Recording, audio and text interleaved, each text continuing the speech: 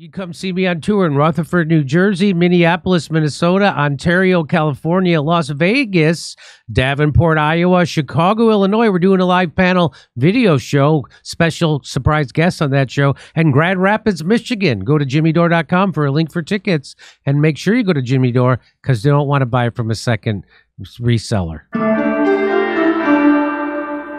Hey, our two favorite guys. Remember uh, Jackson was on this show, Tortoise in the hair. The Tortoise and the Hare, and Yeah. they and they have this great uh, sexual relationship. We we surmise. I think they both just ha- really care about the dogs at this point. I don't think it's the Yeah. sex is that hot. but they were both very hot for for Jackson. Jackson, you look gorgeous. Yeah, that he's like a new little. Have you been working out? You, you look oh, you look fantastic.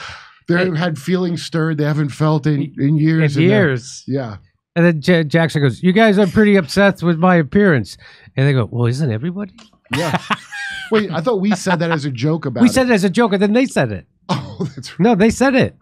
And then that's when we realized that was a wig on the hair. So uh, They're both tortoise. That was so the this twist. is the tortoise and the hare. I kind of like these guys now, actually. yeah, I know. I they've I've, I I might want to do their show. They've invited me, and I said no, but I think it's I think it would be fun. So watch this. yeah, watch there is something. Uh, watch I how like they them now, bicker. yeah. This they, what I love is how they bicker. Yeah, right. So let's watch this. So they have this. This is I got this from Due Dissidence. They tweeted it out. The so she's a Palestinian activist. I I think she's but she's there to advocate on behalf of the Palestinians.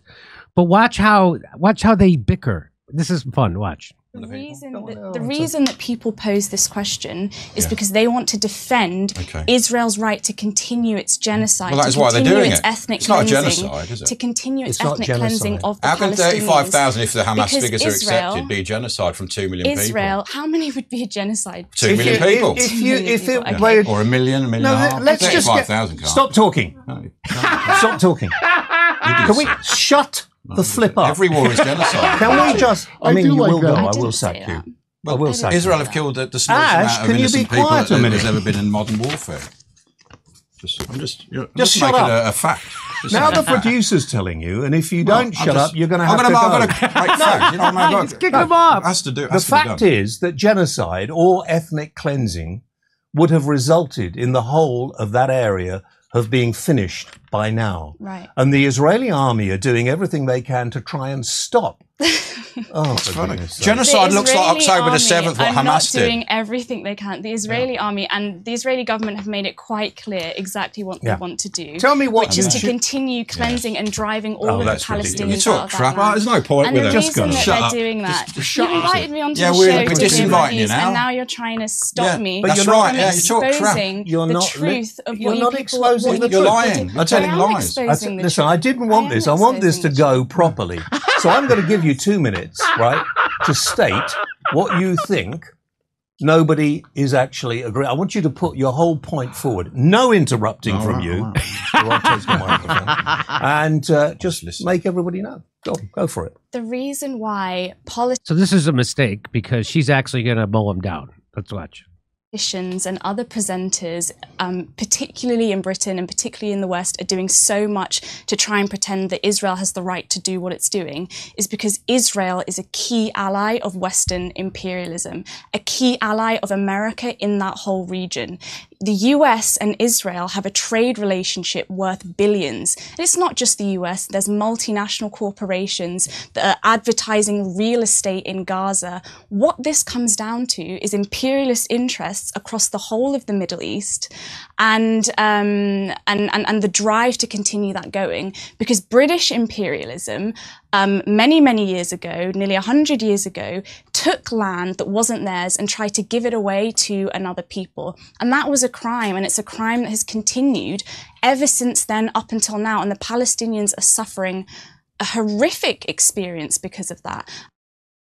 So uh, that was fun. You want to watch the beginning again, Kurt? Yes. Yeah. um, Okay, let's The watch reason Go that Ellen, the reason that people pose this question is Yeah. because they want to defend Okay. Israel's right to continue its genocide, Well, that to why they're continue doing its it. ethnic It's not a cleansing, genocide, is it? to continue its, It's ethnic cleansing of the How can 35,000, if the Hamas Because figures are accepted, be genocide from 2 million Israel, how many would be a genocide? people? 2 If million you- people. If, if you, if it Okay. played, or a million, a million no, and a half. let's just get, 35,000 stop talking. No.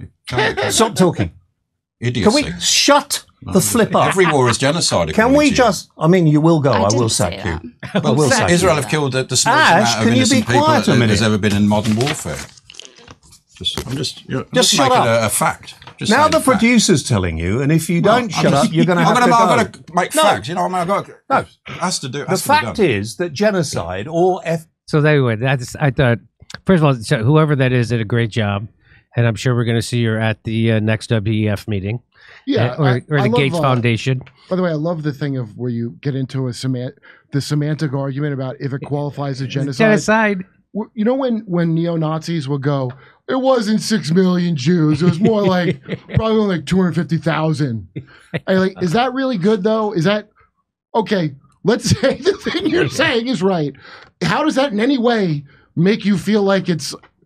W- w- Is there like a discount on it? That's a lot of murder, dude. Even at your lowered numbers. You, you, you're worse than Manson. Like, uh, and, And people Todd Ben- and- that. It's It's- absurd. I know. Ted Bundy's vilified forever for doing, I don't know, 30, 40 murders, but they do that uh, in, you know, before 9 a.m. over in Gaza. I told you when I talked to that one gangster dude about uh, Jim Sammy the Bull because I was gonna I wanted to have him on my podcast. Yeah. This one dude, and I mean he was pleasant enough to talk to. I liked him, but he he goes, you know, those guys were really into being gangsters, and uh, so they all have grudges of like he didn't kill all those people like he said. He only probably only killed three people, and I was like, but isn't that like good? it, it is really is amazing. All all gangsters that you get like a Stockholm syndrome with, where you're supposed to like not snitch and root for their murders. Yeah. That's why America's the ultimate gangster because you're supposed to like. That's why I didn't buy, by the way, the Kim Jong Un guy that was on the the North Korea guy because I'm like I'm still hearing that my life is all about this one family. I like if I got to pick where I get a few families to ally with. I don't want just one where my life is about preserving your family's hegemony on the whole area. I don't like like I really am not would like none of that ever again. You know what's funny to me is I was reading the comments under that. I wanted to see how people reacted to Oz. And some people were like, all right, Jimmy, that's it. I'm done with you. Because oh, I had because I had on Haas, I had on Michael Malice just a few, few days earlier saying the exact opposite. It could go. I, I would never like- even. I was like, yeah. I don't know anything about North Korea. I had two people with opposing views come on and talk about it. I don't know. Make up your own Yeah. mind. Well, I guess they feel deplatforming works. I don't know anything about North All Korea. All these cunts are on board with deplatforming. They're all on board with I know. it. Okay, that was fun, and and, and that young lady did a great job. Fiona Lali. Her It's name right there. is Lali uh, Fiona Lali, pro-Palestinian activist. I thought I bet they brought her on because they thought they they just have the same argument. It's not a genocide, is it? Is it?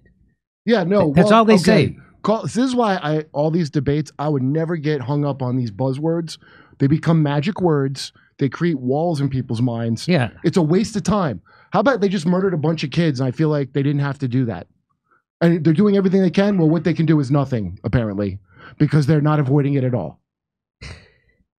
They're And using two thousand pound bombs. You, you, that, that's a two thousand pound bomb could kill someone two football fields away. So that's those aren't your surgical strikes. They're they're just slaughtering people en masse in Gaza.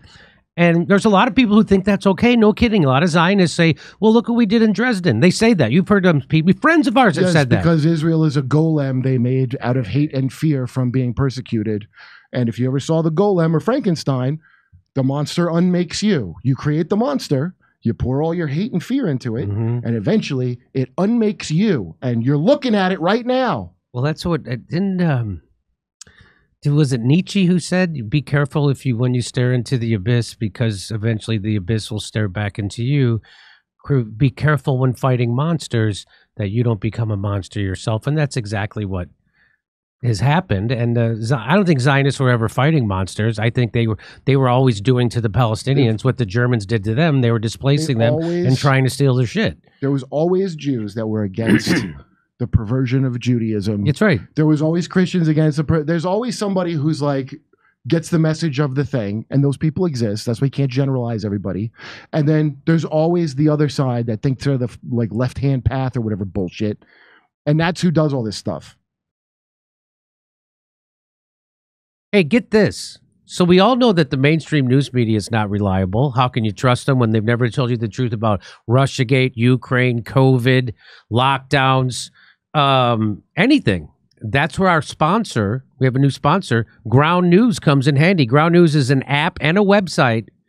And what they do is they gather related articles from around the world in one place so you can compare coverage.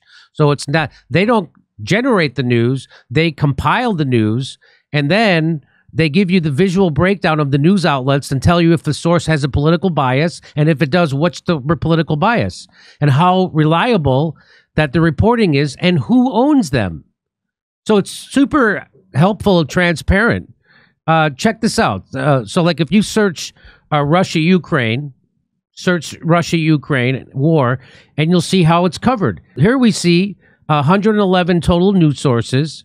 18 of them are left leaning nine are right leaning, and 27 of them are centrist. The bias distribution is 50% center, and even it even shows their logos along with their uh, factuality and ownership. So this is a pretty helpful. This is pretty. Uh, dare I say, uh, use an old timey term. This is a neat website. So this is a good way to do your own research. So you get there, you see that they they help you by seeing what the bias is, by who owns these news out, but they compiles all different kinds of uh, sources around one news story. So it gets you access to independent and international perspectives, not just nationalist sources with the same political agenda. It helps you find the discrepancies in how certain topics are covered and shows you how corporate agendas agendas can influence the news you read. Sounds a lot like this show. Sounds like this website does what this show does. Sounds nice. So if you want to see it for yourself, go to ground.news slash JD. Ground.news slash JD. Use the link below, and we're going to get you 40% off unlimited access. Go to ground.news slash JD, and we're going to get you 40% off unlimited access.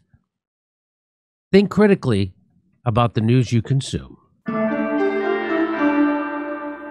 You come see me on tour in Rutherford, New Jersey, Minneapolis, Minnesota, Ontario, California, Las Vegas, Davenport, Iowa, Chicago, Illinois. We're doing a live panel video show, special surprise guests on that show, and Grand Rapids, Michigan. Go to jimmydore.com for a link for tickets and make sure you go to Jimmy Dore because they don't want to buy it from a second reseller.